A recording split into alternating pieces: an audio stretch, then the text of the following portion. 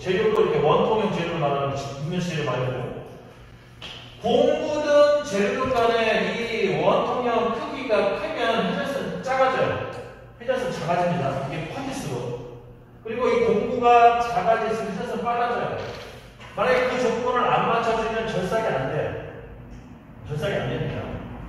그래서 여러분들이 시해성분 아직 안 배우셨지만 시해성분 같은 경우에는요 원통형 재료가 좀 깎잖아요. 그러면 얘는 여기 깎을 때와 여기 깎을 때이 크기가 다르죠. 크기가 달라져요. 그래서 얘는 크게서 변화를 줘야 되거든요.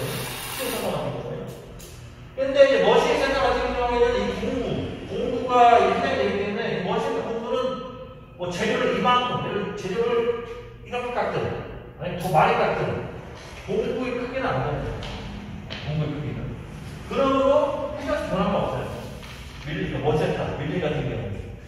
그래서 원래는요, 원래는 그, 이 CNC 같은 경우에는 회전수 제어를 두 가지 방식 제어를 하나는 회전수 변화. 회전수를 변화를 주는 방식이 있고요. 그게 G96기의 참고로 G96 정도예요. 그 다음에 회전수 변, 회전수를 변화를 안 주는 무시, 무시, 회전수 무시, 그냥 일정한 한다는 뜻이에요. 그게 G97이에요.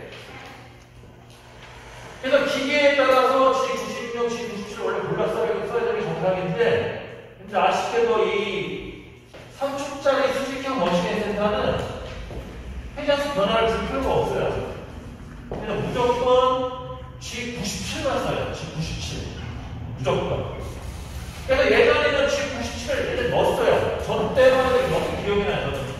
근데 지금은요, 지금 나온 장비는 머신 센터가 무조건 회전수가 똑같기 때문에 이거만 쓸때 약간 G97만 쓰기 때문에 이거 안 집어넣어요. 생략시켜보는 거예요. 생략. 그냥 요거를 이제 안 쓰고요. 그냥 간단하게 S 천만 써요. S 천. S 천만 쓰면 이 아까 G97이 이제 생략하고 생략했다고 보시면 되죠. 원래는 넣어줘야 되는데 넣을 필요가 없다는 거예요. 지금 현재. 그러면 이제 1000rpm으로 돌게끔 된 거고요. 이제 편이 돌아야 될 거 아니에요. 공구가. 근데 안 돌아요. 왜 안 도냐?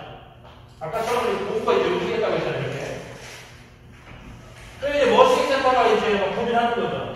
아니, 뭐 1분 동안 천바퀴 돌라고 시간이 나한테 그럼 얘를, 얘를 시계 방향으로 돌아야 되는 반시계 방향으로 돌아야 되는지 또 이제 두 개의 방향을 고민하는 거예요. 어떻게 해야 될지. 그럼 여러분들이 두 개의 방향을 하나 선택을 해주셔야 돼요. 그게 또 37페이지 보시게 되면 또 나와요. 37페이지.